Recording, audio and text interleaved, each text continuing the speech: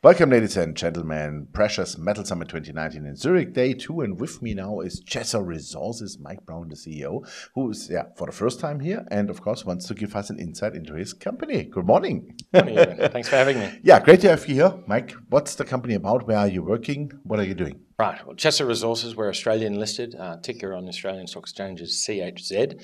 Uh, we're focused in Senegal, West Africa. Oh, okay. Um, really exciting place to be. Mm -hmm uh, along a belt with 45 million ounces in, on the Mali side discovered mm-hmm. in the last 15, 20 years. Mm-hmm. And we are on the early stages of a discovery on the Senegal side, which yeah. is which is a great great story to have. Fantastic. Um, as I saw in your presentation, you did a discovery, of course. Before mm-hmm. we talk about it, how did you come on Senegal? Because uh, I think you are the first company even I'm talking about who is working in Senegal. Well, there are, there are actually uh, interesting. There are actually two uh, operating mines in Senegal, mm-hmm. th- uh, a third small private one, but Teranga Gold are there with um, Sabodala mine, which is mm-hmm. over five million ounces, mm-hmm. um, and Resolute Mining from Australia recently purchased Toro mm-hmm. Gold Mako mine. So there are 2 mm-hmm. operating mines in, mm-hmm. in Senegal. Um, we came across a, a, a portfolio of projects back in 2017, and the company acquired those after having sold a discovery in, in Turkey, returned 30 million of that to shareholders. Oh, nice! Uh, and it's Chesser Reloaded, Chesser Two.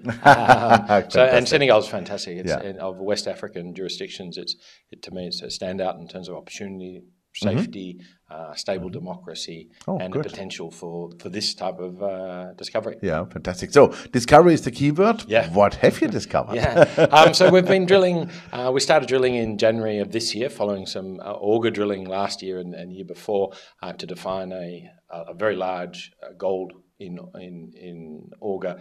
Um, anomaly. Mm-hmm. We started drilling in January, had some really good results. Couldn't quite put them together in terms of the direction and orientation. Mm-hmm. We came back and drilled that in July. Mm-hmm. And on the back of those results in July, we've got an early stage discovery. Still early stage, but we've got eight holes into a into a zone that um, high grade gold, shallow, fresh rock, pyrite.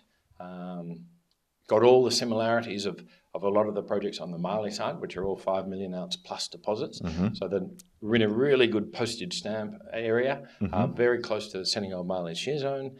Uh, we've got Barrick and IAMGOLD very operative just around mm-hmm. us. Mm-hmm. Um, so we're sort of set up now, yeah. and hopefully this week or early next week we'll actually get the rigs spinning again because oh, wow. we're funded. Okay. Um, so we're in a great position. Yeah, we're yeah. in a really good position. Fantastic. When you say high grade gold, uh, first of all, what, what were the grades and uh, let's say intercepts you have found? Yep. And is there aside of the gold any other metals? No. So they're, they're basically they're, these orogenic uh, gold deposits are, are, are as they are. They're gold. There's mm-hmm. pretty much there's no other metals with them. Mm-hmm. Um, the grades, the, the, best grades that we had were 21 meters at 6.3 mm-hmm. grams mm-hmm. and uh, 14 meters at 9.5 mm-hmm. grams. Mm-hmm. Um, those are true widths. These are shallow dipping uh, mineralized zones that, mm-hmm. are, that, are, dipping down to the east. Mm-hmm. Um, as I mentioned, only eight holes, uh, so a lot of potential in terms of untested areas for us to, to test and look to mm-hmm. expand mm-hmm. that footprint and mm-hmm. look for repetitions. But um, fantastic, looking really good at this stage. Yeah, I can imagine that you were quite happy when you saw the drill core. Yeah. So you said the drills are turning. You said you are funded. So how many meters uh, you want to do now, and let's say 2020? Right. So the two programs we've done now have been just under sort of about five thousand thousand meters each program. Mm-hmm. Uh, now we're actually going to drill diamond drill on course. So mm-hmm. these are surface, uh, close to surface discovery. Mm-hmm. Uh, but there is no rock outcrop. So we're essentially drilling blind. Mm-hmm. So diamond drilling, we'll do 2,000 meters of diamond drilling to really get an understanding of the host of the mm-hmm. mineralization mm-hmm. that we see now, and then look to expand and, and look a little mm-hmm. bit deeper. We don't need to go that deep. We're not drilling down to 300 meters. Mm. We're looking into what might be potentially open pittable in the future, so near surface. Um, so like 100, 150 meters down, probably. Yeah, so the diamond holes might be 150 meters, mm-hmm. sort of 150, 160 meters, because mm-hmm. they'll be angled, so they're a little bit longer. Yeah. Um, and then the RC holes will do um, 2,500 meters. Mm-hmm. Um, the drilling's pretty easy there.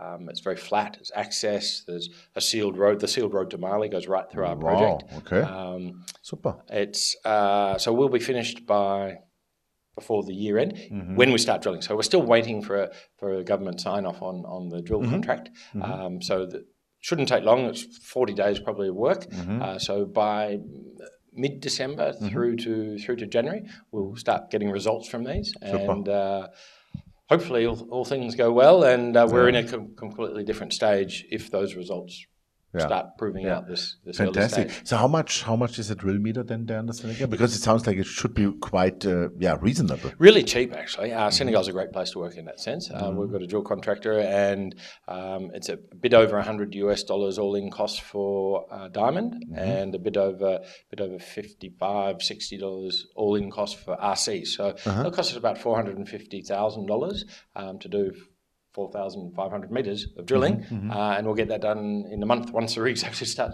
start wow, spinning. That's so fantastic. It's, it's, uh, Great. So that means we uh, can expect some news flow in Q1. Uh, yeah, year. well, uh, fingers crossed, we might even get it in Q4. I mean, yeah. it's possible that we can get some results because mm-hmm. it's really early in the um, field. The field season proper hasn't started in mm. Senegal and Mali because of the wet season. Wet season ends typically in, in sort of mid to end of September. Um, it's been a dry year in Senegal. Mm-hmm, mm-hmm. We've got tracked drill rigs, so it, it's early for us to get in. Mm-hmm. It means the laboratory in, in Mali is mm-hmm. not backlogged with lots of samples. Mm-hmm. So we're hoping so that once we get our fast. samples there, there'll be a quick turnaround. Fantastic, great. Well, Mike, then thank you very much, and uh, all the best. And we look forward to some good news from you guys. Thank you very much. Fantastic, thank you. You. Yeah, ladies and gentlemen, it was Mike Brown, the CEO from Chesser Resources, and uh, you heard it. The drills are turning quite, quite soon. They're just waiting for a last final permit, and the, the company is uh, cashed up for that. And uh, yeah, we look forward after the first discovery to see some more good results out of that. So stay tuned, check out the company. Thanks for watching us, and bye bye from Zurich.